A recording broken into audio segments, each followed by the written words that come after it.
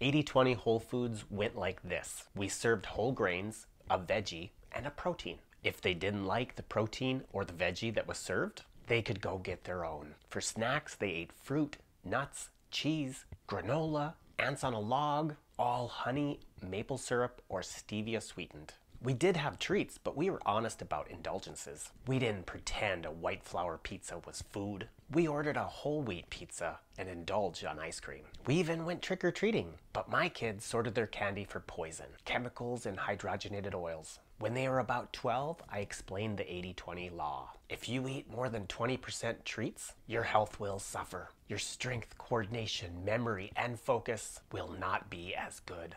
My soccer star decided that if it didn't make her faster, she wouldn't eat it at all. Good choice. Healthy choice. Eat like a motherfucking adult and set an example for our kids.